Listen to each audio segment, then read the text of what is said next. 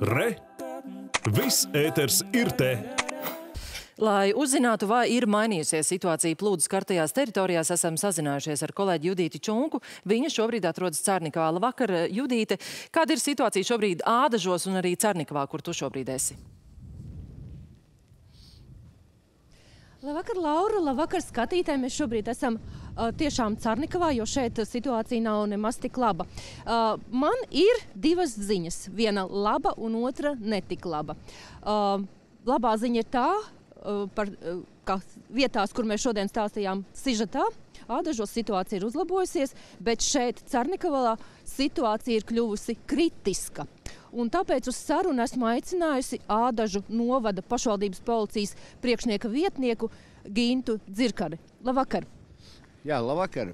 E, situācija tāda, ka gauja mūs kārtu reiz nepārsteidz. Šodien naktī pulkstenis 2 un 18 minūtēs saņēmām no valsts ugunsdzēsības glābšanas dienestu par to, ka nepieciešams ir slēgt V50 šoseju, kas ir ādaži, ādaži garkalnāņi, lai iedzīvotājiem neradītu daudz apdraudējumus.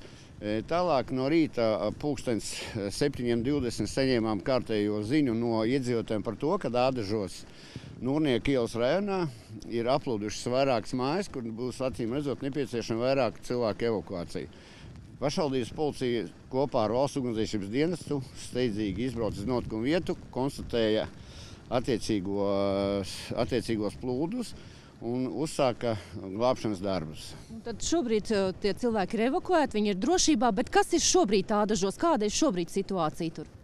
Ārzemēs šobrīd situācija ir tāda, ka šie cilvēki ir evakuēti, viņi ir drošībā. Šobrīd šī situācija ir tāda, ka 16. ar, kap, ar, ar, ar 10 minūtēm ledus ādažos pie domas sāka iet. Pakāpeniski uz gaujas ieteci jūrā, taču savukārt e, ūdens līmenis tik strauji nepazeminās, kā mēs vēlētos to Jeb, jebkurā gadījumā ir vietas, kas ir vēl joprojām palikušas aplūdušas, un ir arī vietas, kas, kas ir jau pieejamas iedzīvotājiem un pilnīgi lietošanai. Tā ir vietā, kur mēs šodien filmējām. Tur, ūden, tur gauja ir brīva, vai ne? Jā, Nūrnieku ielā lēnām garā ūdens atkāpjas līdz ar to rītdienas.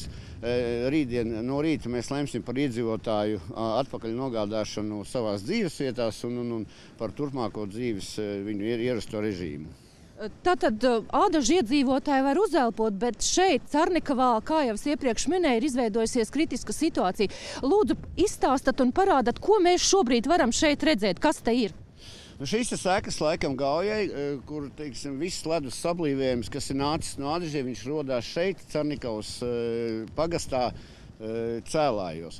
Tātad gaujas upes ledus, viss sablīvējums nāk lēnā garā pa pakāpienam no ādažiem virzienā uz Carnikavu. Protams, kad sablīvējās, līdz ar to rodās pašlaik Carnikavā bīstama situācija. Carnikavā ūdens līmenis ceļās. E, tātad, mēs... Šobrīd ir pārsniegta kritiskā robeža. Cik tagad ir e, līdz tam trakumam? Es saprotu, ka nu, jau drīz viss jau sāk aplūst. Jau. Lēnā garā arī mums ir mājas, kas jau tuvojās aplūšanai. Pašlaik ir ūdens līmenis burtiski 20 minūtes apkārt bija 2,15 m. Lai mēs stādītos priekšā, šis ūdens līmenis ir 2,15 cm. Tad pusstundā apmēram 40 cm ūdens līmenis ceļās. Kritiskā robeža būtu plus mīnus 2,35 m. Tātad šobrīd ir palicis pavisam nedaudz, lai sāktos tiešām, kā saka operatīvo dienestu pārstāv, ļoti nepatīkama situācija šeit Carnikavā jau, bet, nu, kā redzat, visa upe ir pilna ar ledu, un šeit gar malām ļoti, ļoti strauji ūdens līmenis ceļās. Burtiski mēs šeit redzam, nu, burtiski tas notiek mūsu acu priekšā. Tā kā, bet, nu, šobrīd um, no šejienes, no Carnikavas man būtu tā kā viss, un uh, atgriežamies pie kolēģiem studijā Zaķu salā.